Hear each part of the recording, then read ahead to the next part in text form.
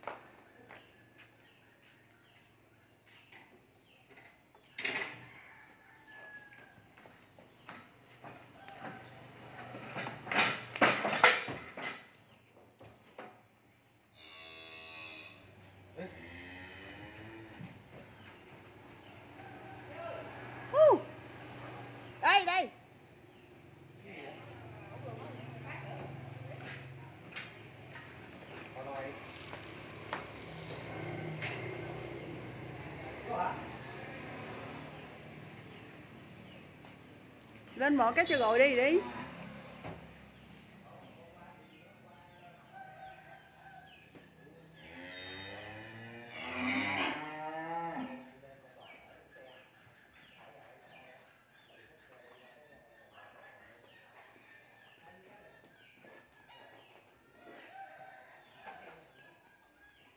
Con con, lên cho gọi luôn đi. Trời ơi.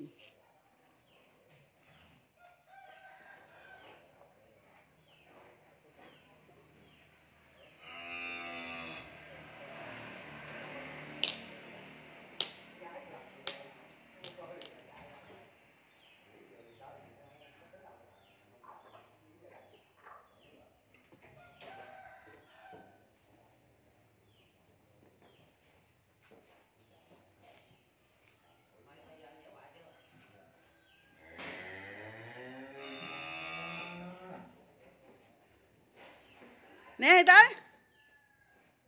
Tới. Trời ơi. Nè ra lên bỏ đó cái vô nói chuyện.